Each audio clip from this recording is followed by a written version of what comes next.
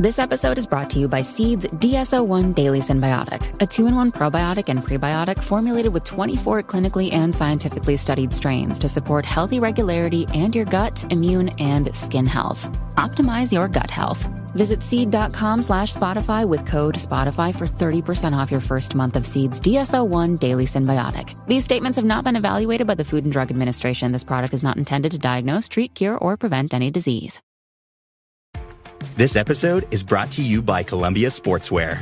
It's snowing again, and that wind chill is killer. But you're not worried about that because you shop the Omni Heat Infinity Collection. It's warmth perfected with tiny gold dots that reflect your body heat inside and protect you from the cold outside. No snow or chilly temps can stop you now. Go out anyway. Shop the Omni Heat Infinity Collection now at Columbia.com slash infinity. Apple Card is the credit card created by Apple. You earn 3% daily cash back up front when you use it to buy a new iPhone 15, AirPods, or any products at Apple. And you can automatically grow your daily cash at 4.15% annual percentage yield when you open a high yield savings account. Apply for Apple Card in the Wallet app on iPhone. Apple Card subject to credit approval. Savings is available to Apple Card owners subject to eligibility. Savings accounts by Goldman Sachs Bank USA member FDIC. Terms apply. Hello, and welcome to a new podcast, The Paddock and the Pavilion, with Stephen Wallace. In each show, Stephen will interview someone connected to the world of horse racing or cricket. In part two, I spoke to Jacob about his rehab in France and at the Injured Jockeys Fund site at Oaksey House. We then went on to talk about Jacob's ambitions for the future. Well, can we now go back to when you arrived in hospital? You spent 178 days in hospital. What, what do you what do you remember about the early days in the hospital? Terrible food. Terrible food. Well, French French and, food's always supposed to be, you know, the uh, culinary highlights well, of Europe. Hospital but, food. Yeah. Hospital food is is well, yeah, terrible food. Um, and I remember it being incredibly hot. Because it's middle of summer, isn't it? Yeah. Yes, middle of summer, middle of Paris, and it was a hot summer last year. Yeah, and a lot of a lot of pain, really, a lot of pain those first what, five what was, weeks. What was the full extent of your injuries when you arrived at? The... Um, I had a chipped C6 in my neck, chipped a bone, dislocated C7 from C6 in my neck. I broke T3, T4, and T6 in my back. T4 was so badly damaged that that had caused a compress, compression on my spinal cord. I'd broken my sternum. I broke four ribs. And as a result of that, I damaged my left lung as well. So I'd done a good job. You certainly uh, had that. That there must have been some very dark days when you're first in there. I was only thinking myself, what what can you think when you're on your own and um, when you're awake, when you full extent of your injuries, which you've just revealed? How how can you feel then? Well, the first week, I can't really remember too much, to be honest. Um, my mum, like I said, my mum and dad came that night, and they stayed. My mum stayed with me for every day, bar I think three or four days. She wasn't with me. I remember seeing Felix on the, the, the following day after my accident. Um, it was at a time in France where the COVID was never bad enough to, to, to not allow visitors. We were limited on how many people, but that was basically what got me through was the visitors. Um, if it hadn't been for that, if I'd have been in England, then I don't know how I would have coped. But the lads were very, very good. I was a bit, you know, because you you you'd think oh, these jump jockeys, they you don't want to almost be reminded of what the job can cause, and I, that always, and I can't thank them enough for putting that aside out of their heads, and just you know they really just were there for me, and um, so they came and saw me a lot. I had family friends come over within the first six weeks um, in the Parisian hospital and yeah, it was all down to them really. It was all about support and um and immediately the first thing I did was was try to look towards the future and what and kind of in a strange way there was a bit of a relief that because I was still trying to make it as a jockey and it was always playing on my mind and it was always getting me down that I hadn't made it and will I make it in a strange way there was a bit of a relief that that was over that pressure that I was putting on mm. myself to make it as a professional jockey because I wanted it so badly that was gone so then I could kind of then there was a release forward. thing. There was a release from that sort of pressure. yeah yeah and then also I looked and then I remember just wanting to see my friends a lot and it made me instantly realize that god there is so much more to life and how important my friends are because I was almost putting everything Into one thing. riding was everything Yeah. and my social life was having a an effect and you know i was i was very tired and therefore miserable and didn't want to be you know and it was just like yeah i was almost like in a small way kind of it was a little bit of i was quite glad in a, in a small way um Uh, probably uh, How did it affect your parents? Because they must have spent a lot of time in a foreign country. well i joked that they basically got a you know they got a summer in paris but uh it wasn't the quite the was good, circumstance yeah they were it wasn't quite in the circumstances uh that that they would have liked um they've been fantastic. Yeah yeah they've um i mean from what i've seen they've been as strong as a rock. Obviously i can't comment on what what they what happens behind closed doors but um yeah of course it's been hard. Um it's been hard for all of them but i suppose they it, it's funny they take strength from how i have dealt with it but then had the reason i've dealt with it so well is because of them so um but it's been it was definitely a blow on all of the family yeah grandparents included Did you have to move hospitals a few times as well? And and what was the physio like? Uh, yeah, after seven weeks in the hospital in the center of Paris, they took me to uh, to the west of Paris to Garches, which is like the Stoke Mandeville equivalent in France, um, for high speed crashes and collisions that affect your spinal cord.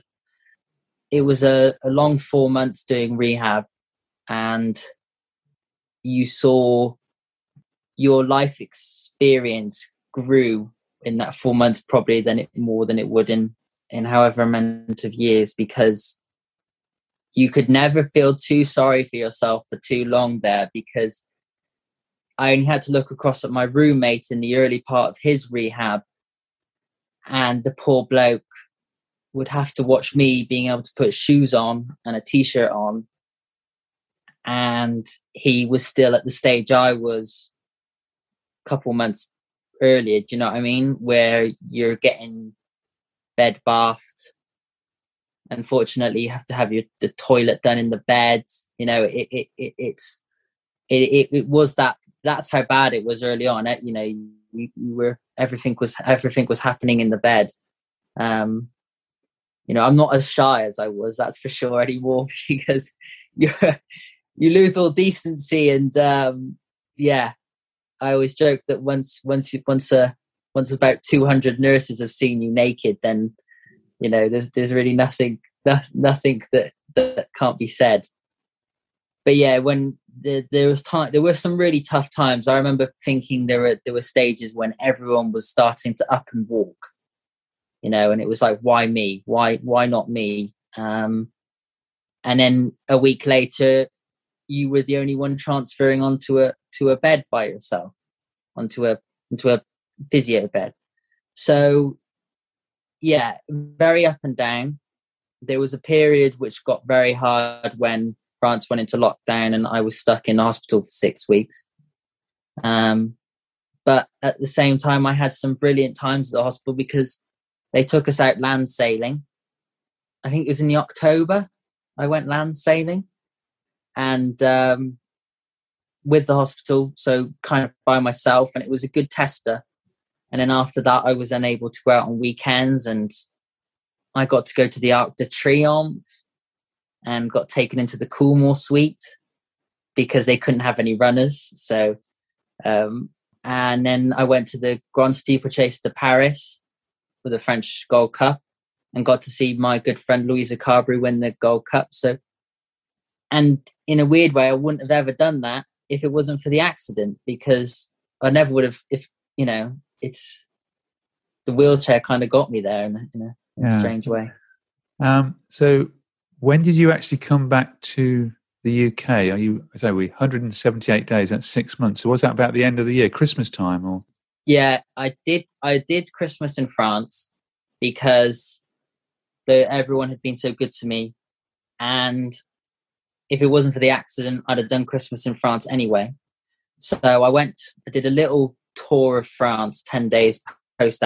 Post, I left the hospital. I did ten days in France, and I went and saw my old yard. I went and went down to Pau and had a big party for my birthday, and it was probably it was really good because nothing was easy in terms of accessibility and bedrooms and stuff, and all my friends were brilliant, carrying me up and down stairs. Um, and then yeah, came back to England on the 29th of December. And then it was then and then we were in lockdown again over in England. So dad had already been back in the UK since October adapting the house. Um, which you know couldn't have been easy on on them because that was a stressful enough thing to go through you know because we didn't know how to what to do to the house that must be we a big all job. new yeah it's just it's just kind of mentally trying to visualize the wheelchair in the house and how it would work. And then and then it did turn out to be a big job because my mum and we had to swap bedrooms. We had to install a lift um, to go from the dining room straight up into the into the my bedroom. There was alterations to the bathroom to turn into a wet room and it was like what layout's going to work um, and then do we? And then there was also floors because wheelchairs do not like carpet, and so that that was another thing. And yeah, you know, and obviously COVID, so nobody's you know available. Um, the council were backlogged with other things. Um, yeah, he had a tough tough two months out in England getting that sorted. And then also you then had mum living in France by herself, dealing with a 24 year old, 23 year old person who at times was not very easy to deal with. Um, uh, let alone the language barrier of trying to get paperwork done. Um, so we came home and we basically, I think I spent a month in the house and I saw my grandparents probably wasn't meant to. And yeah, it was hard because you spent the last six months speaking to everyone saying, we'll meet up when you go home. And then we and went you, into lockdown. Go, yeah. And you go home and you don't see anyone. And then the also the plan was was to come home and almost go straight into Oaksey to continue that that rehabilitation so that you don't lose it. And we couldn't do that either. So I think I did two days in the January as a taster at Oaksey House because they didn't know what how fit I was or if I could do anything from a um and then I think yeah if I remember correctly February was another month at home and March I think I did a week at Oaksey House and then it was another 5 weeks at home. It, yeah it was that was almost at times harder than the, the six months in the hospital. I was going to say, I was going to say, I mean, it was hard for all of us, but uh, it must have been even harder for you when we've got complete lockdown and uh, you couldn't get to the Injured Jockey Fund Oaksey House on a regular basis to carry on all the rehabilitation you'd done for the previous six months. No, eh, it, no, and I took it took a lot of it for granted because when we went into lockdown in France, was st- I was still riding out in in when it first happened in the March and the April, because obviously the horses still had to be looked after, and in France it was only ten weeks of no racing, so we got back to racing a lot quicker than than they did in England. So, and you basically lived with who you worked with, who you who were your best friends. So, I I never really fully appreciated how hard it was. And then again, you're in hospital, and in your your rehab was your job. That's how I looked at it. It was a job. It was up at eight o'clock, two hours to get yourself showered, toilet, dressed, down to rehab for 10, two hours of rehab, lunch for an hour and a half. You know, there was a there was a schedule, almost very similar to your day in a racing stables. And then you, I came home and there was there was nothing to, to get up for. Um, probably did me actually some good looking back in because it allowed my body to heal and rest. And actually, I then re- I remember going to physio in the March time, and I had actually below the level of injury in my core, stuff muscle started to flick on and off. So there'd been a bit of um, healing had done there, bit of almost regeneration. And I kind of look back and think, would that have happened if I'd have just kept hammering everything? So, and then since then, more and more regeneration, and I've, I've, I've managed to gain more and more core strength. I mean, nothing that would help me sit up to to that type of degree, but in terms of posture, in terms of seated balance, it's it's been being able to to regain that has been a big help from such a high level injury. And how often now are you going to the um, Injured Jockeys Fund at Oaksey House? I go.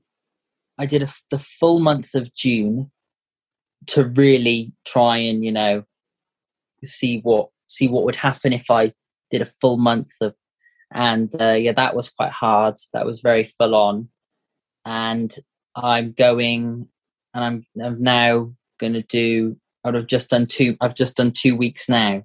So yeah, the end of August, I've just I've just done my two week stint now. So I had six weeks off, and I've just finished doing two weeks uh, in in at the end of August. And and looking to the future on really positive news, you've um, joined Team GB's Future Stars program for table tennis. How did that come about? Yeah, um, well, we used it as a form of rehab, and I played it in school, and I was like, this could be something I could get into here and compete at. It's not. It's a very accessible sport. You know, there's not a lot of high costs in terms of bats and stuff. So and I was I, we bought a table at home, and I remember speaking to someone one day, and they said, "Oh, how's the table tennis going?" And I didn't really have much of an answer because it wasn't really going anywhere. Obviously, COVID hadn't helped, so I I just rang up British Para Table Tennis and basically told them who I was, what had happened, and what where I want to go and what I want to do. So they signed me up to this Future Stars. The pathway coach, Sean Marples, rang me and said, "Shall we have a Zoom call and a and a and a get and a meet and greet?" You know, showed a lot of interest, which I really liked. And then he got me into a club. He came down and joined me on that day again, showing interest. Um, said, "Yeah, there's some there's some talent here. There's there's a possibility to to improve a lot.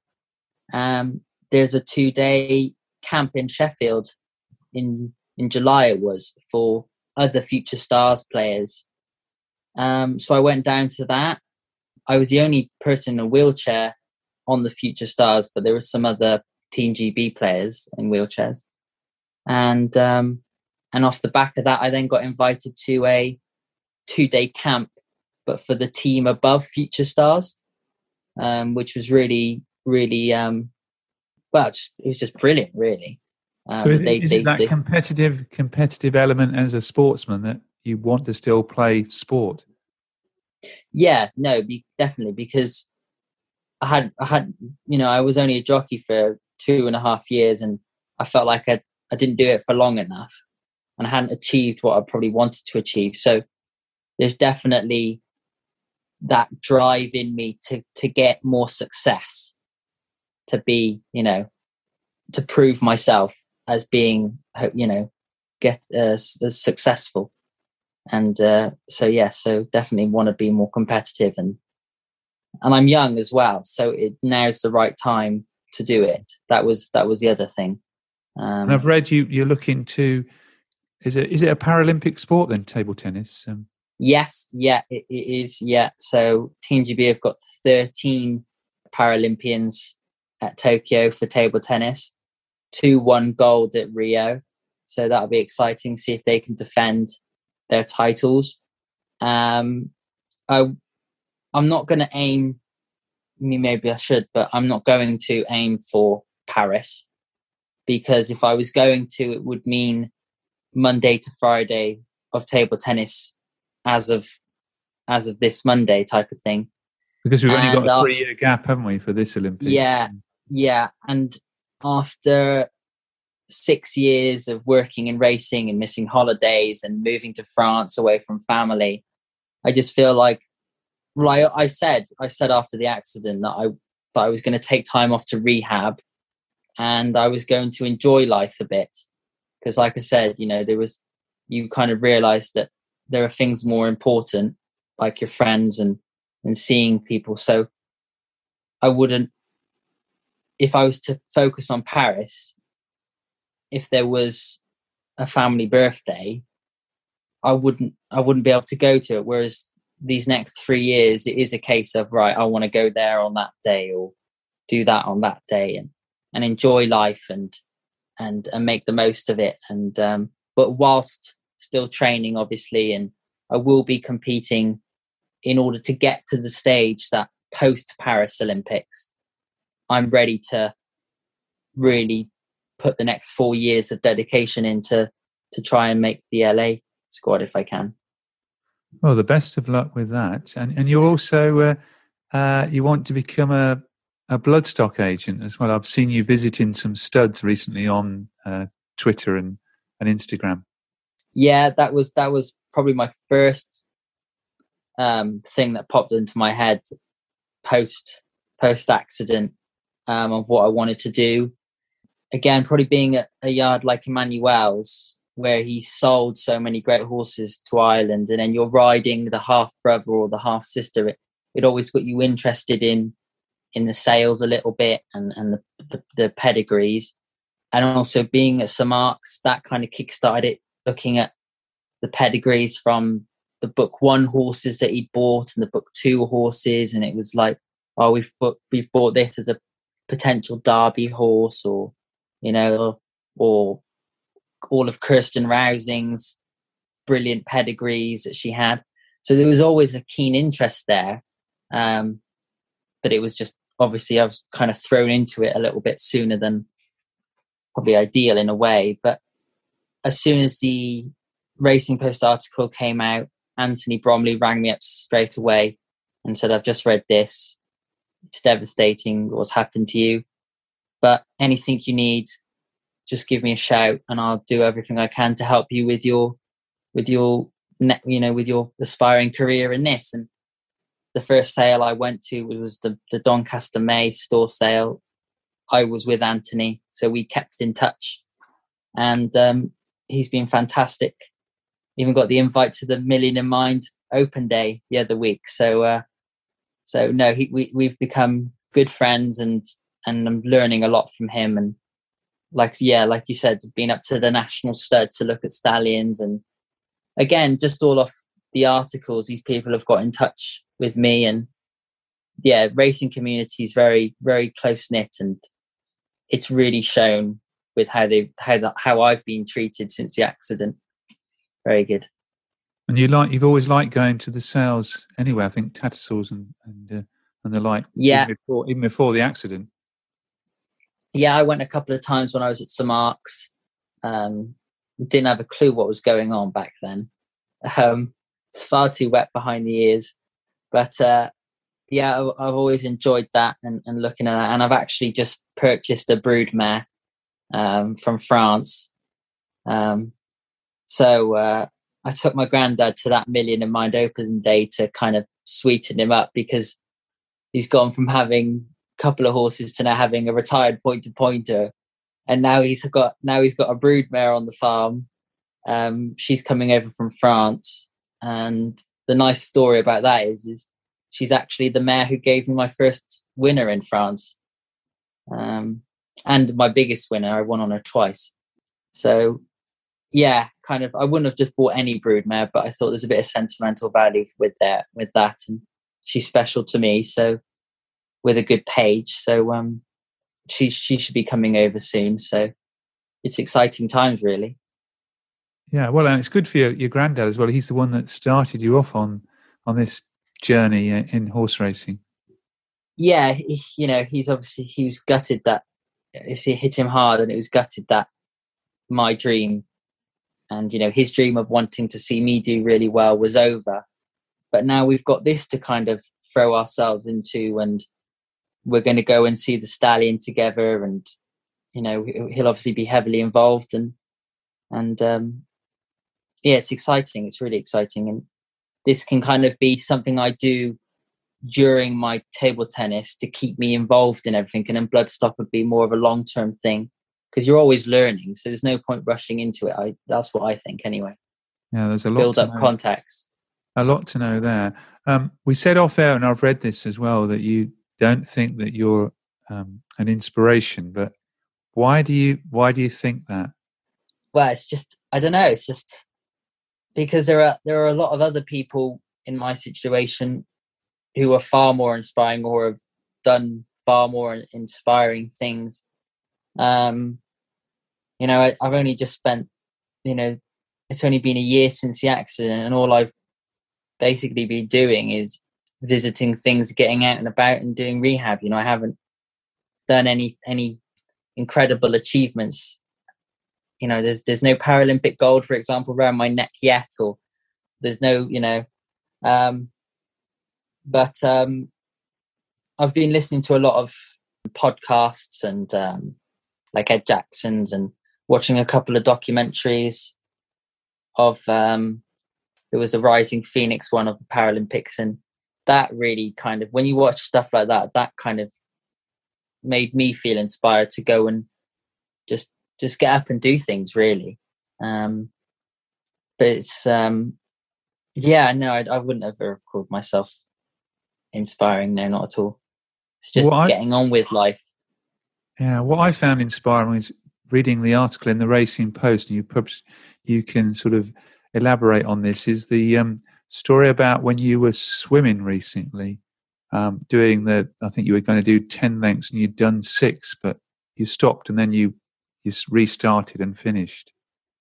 That was actually the the the first year anniversary of. That was on the twenty third of June, 20, uh, of this year so it was uh, one year to the day. So I probably shouldn't have been doing something so strenuous because emotions were all over the shop. And it was down in Winchester. It was in a hydro pool, and hydro pools are, are very hot. They're about 35 degrees. Um, and we had to do a, a six minute swimming fitness test. So probably slightly too hot to really be doing that. And I thought oh, you know, I'm quite fit now. I'm I'm in a good position rehab wise and strong. But obviously, swimming fitness is completely different. And I did four lengths of front crawl, and my arms were were, were knackered. So I decided I'd do uh, breaststroke. Um, so I did two lengths of that. And I went, and the target was target was ten to twelve.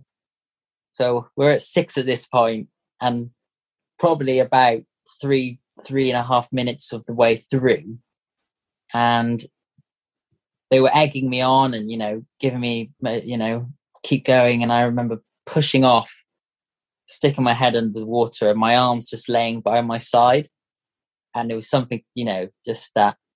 Um, and I was never a, a, a swimmer in the first place. You know, I was never a big fan of it. So, and I remember just sticking my head over the water and says, I'm done. And then obviously you can't put your foot down or anything. So I just started to sink and they came and saved me, which for me, I always find embarrassing. And I remember just sitting there, be feeling, you know, quite emotional and not that I was showing it, but inside. And it was, you know, just that frustration of just not being able to do more because of the, the lack of use of 75% of your body and tired and um could say upset over just the day itself. But i looked at the physio and, i was kind of like you know now this is this six six to me doesn't feel good enough. So i buckled down and i did another two. And a lot of people who i've heard since spinal cord injury says that they learn you know you learn a lot more about yourself and you they've become a lot better person and i think in those two lengths going up and down which took a minute 45 to do 10 lengths and it's not a 25 meter swimming pool it's not a very big one. Um, i definitely pushed through a lot of barriers mentally and felt like that I, I kind of learned a lot about myself and was just proud of such a small achievement really.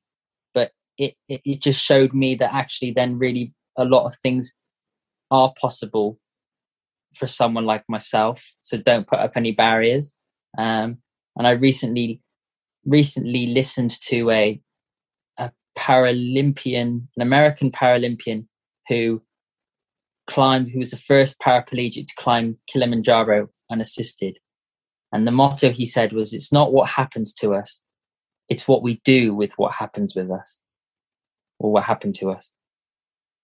So, yeah. Now, thank thank you very much for sharing that with us. It should be, I know you say you're not, but it should be an inspiration to all of us uh, in how we go about our lives. And what your with your rehab, what's the prognosis? Is there hope that you will get more mobility? Well, my spinal cord was only compressed, so there's always a question mark really on on how on how much will how much I will recover because we just don't know how badly the nerves were damaged when it got compressed. Um, doctors and and you know specialists will say that with spinal cord injuries, you've got 18 months to two years, and what and after that, basically that's your window and if after that amount of time, if you're still in a wheelchair, there's still no movement, then you're probably not going to to get it. But we, you know, live with hope, and and and that's all we can do. It's not something that it's not a door that I've shut, you know, ever trying to walk again. But it, I've definitely had to and have come to accept the fact that there is a high chance that it won't happen. Um, and you know i suppose you have to just say that you're okay with that because you, you you're not going to get through the day resting on the thought of oh i hope i do walk again. Um so yeah we we do everything we can. That's what this year was. It was a year to to throw everything into those rehab sessions.